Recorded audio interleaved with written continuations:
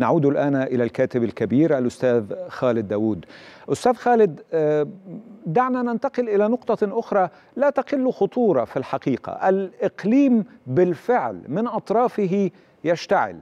المواجهات في جنوب لبنان شمال إسرائيل تنذر بالتحول إلى حرب شاملة في في تلك المنطقة. إيران يعني في حالة قلقة للغاية وسأقول لك لماذا باختصار. لأنه إيران السلطة في طهران تشدقت كثيرا جدا بفلسطين. الآن فلسطين بحاجة ماسة إليها فهم في وضع محرج. اليمن تتدخل الحوثيون في اليمن تدخلوا وضربوا. هل تتصور أن الإقليم ليس مقبلا على اشتعال بل هو اشتعل بالفعل يا أستاذ خالد؟ نعم يعني هو على حافة الاشتعال. بكل تأكيد وربما أستاذ محمد ده يرجعني للسؤال اللي فات قبل كده أن هو السيناريو التهجير القسري للفلسطينيين وجبرهم إجبارا على التوجه نحو مصر هو جزء من مخطط إشعال المنطقة برمتها وربما تكون هذه هي أحد أوراق الضغط التي يمكن يعني أن يستغلها الجانب العربي طيب في طيب طيب لمصلحه مين يا أستاذ الولايات خالد؟ يعني المتحدة الأمريكية يعني المقاطعة خطيئة لكن لمصلحة من؟ ليس في مصلحة إسرائيل أن تشعل الإقليم لأن أصابعها ستحترق يا سيدي هو ده بكل تأكيد لو إحنا فكرنا في الموضوع بشكل منطقي وأعتقد أنه ليس من قبيل الصدفة أنه في اليوم التالي لزيارة أنتوني بلينكن وزير الخارجية الأمريكي إلى إسرائيل ولقائه مع نتنياهو وجالنت وبقية حكومة الحرب في إسرائيل أنه قام بالاتصال برئيس الوزراء العراقي في أعقاب ذلك مباشرة من أجل التاكيد على الرغبة في مساعدة الحكومة العراقية الحالية في التخفيف من الهجمات التي تتعرض لها القواعد الأمريكية الموجودة في العراق وشاهدنا أيضا هجمات مماثلة في سوريا وزي ما حضرتك أشرت الهجمات التي تأتي من اليمن وطبعا الوضع المتوتر في الوضع ما في في في, في جنوب لبنان وشمال الأراضي الفلسطينية المحتلة. فيعني كل هذه الأمور هنا الخطاب لا يجب أن يكون مع هذه الحكومة المجنونة المتطرفة الموجودة في إسرائيل ولكن التخاطب يكون مع الراعي الرسمي. الراعي الرسمي هو الولايات المتحدة الأمريكية.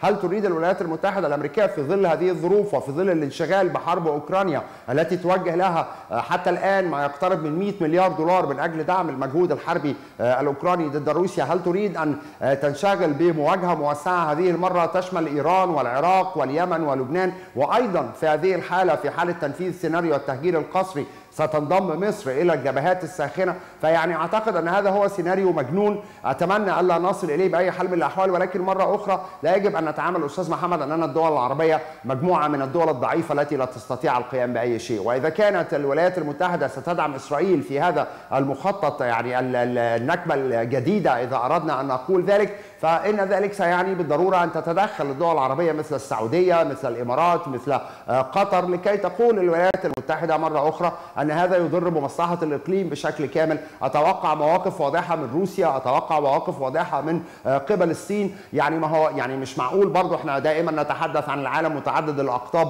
ولكن أمريكا تهب لنجدة إسرائيل عندما تتعرض لأي مشكلة من المشاكل تحرك لها البوارج وتحرك لها الصواريخ وكل خالد أنت أدرى مني فماذا عن روسيا بكثير يعني أنت أدرى مني بكثير إنه على مواجهة النفوذ الأمريكي المتوسط. التنين الصيني متخصص في الكلام فحسب يعني هناك مخططات.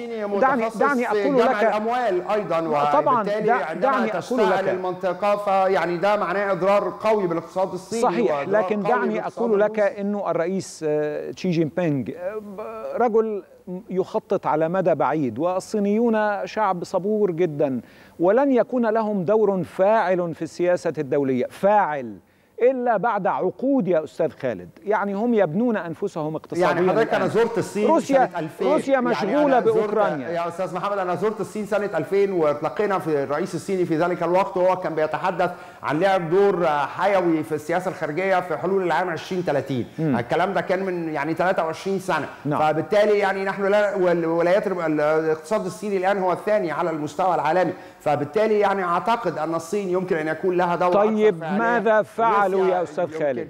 ما أنا زي ما ماذا فعلوا؟ وروسيا روسيا المشغولة بأوكرانيا. آه هذه لحظة ممتازة جدا للالتفاف حول الدب الروسي لأنه مشغول.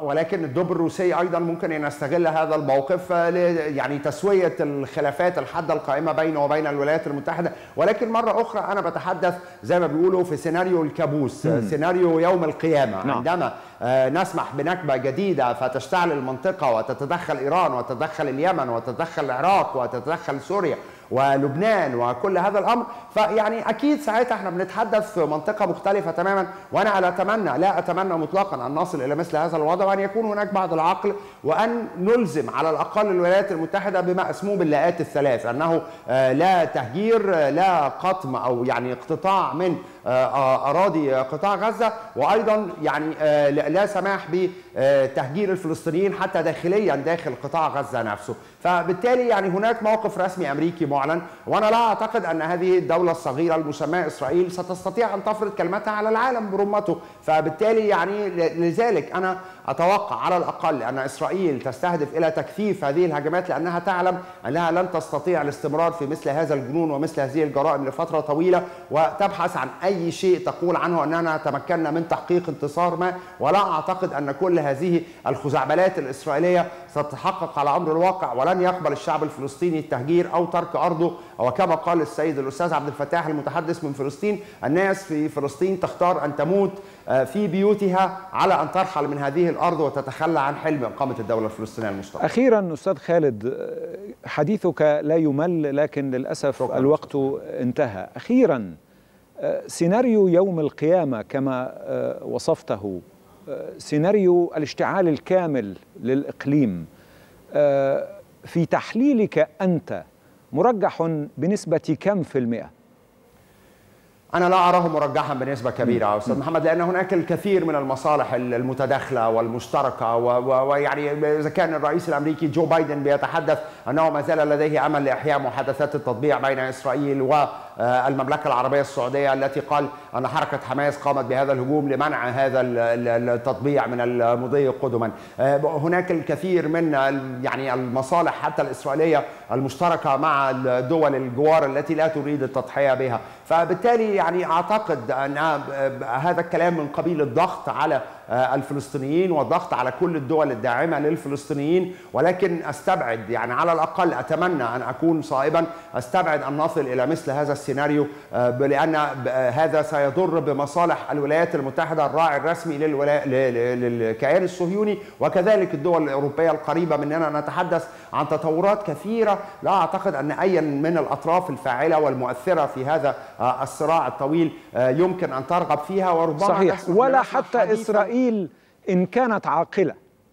ده لو كانت عاقلة وأنا أعتقد نتنياهو يصعد لأنه يخاف على مصيره ويخاف على مستقبله ولكن في النهاية هو يعلم جيدا أن مصيره النهائي سيكون عزله من منصبه ومعه كافة قيادات الجيش والاستخبارات الإسرائيلية وبالتالي يبحثون عن نصر ما يقدمونه للشعب الإسرائيلي. ولا يجب أن ننسى مطلقا ورقة الأسرى، ورقة الأسرى ستبقى ورقة شديدة الأهمية في يد المقاومة الفلسطينية لأن في النهاية سيحمل الرأي العام الإسرائيلي رئيس الوزراء الإسرائيلي مسؤولية مقتل الإسرائيليين الموجودين الآن لدى حماس بسبب هذه التصرفات المجنونة التي يقوم بها في جنوب قطاع غزة هذه المرة. أستاذ خالد وافر امتناني وتقديري سيدي الكريم الكاتب الكبير خالد داود.